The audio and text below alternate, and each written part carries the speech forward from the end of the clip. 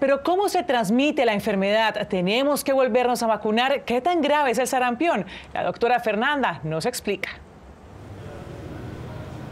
Buenas tardes. Quiero insistir en que en este momento no hay brote o epidemia, así que no hay razones para asustarse, pero tampoco para bajar la guardia. Debemos evitar que se presenten más casos debido a que este es un virus muy contagioso y que podría representar un riesgo, en especial para niños menores de 5 años y personas con problemas en sus defensas.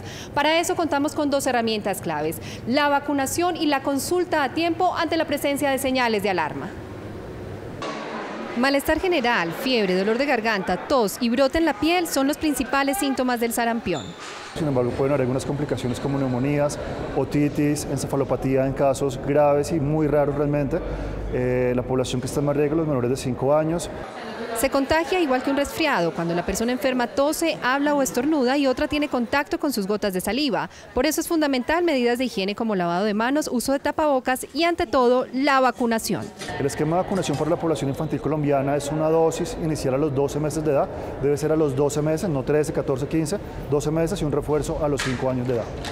En cuanto a los adultos... La población adulta hablamos de que hoy día ya cuenta con una dosis adicional de protección, no tiene que salir a buscar una vacuna adicional. Esto dice el Ministerio en cuanto a las medidas en la frontera, de donde han ingresado los dos casos registrados en los últimos días.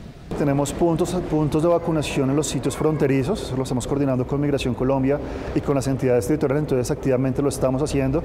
El año pasado aplicamos alrededor de 110 mil dosis de vacuna en todo el territorio nacional para población migrante. Este año entre enero y febrero hemos aplicado cerca de 40 mil dosis. Explican que no es la primera vez que ingresan casos de sarampión y de otras enfermedades al país, pero no han trascendido debido a la amplia cobertura de vacunación.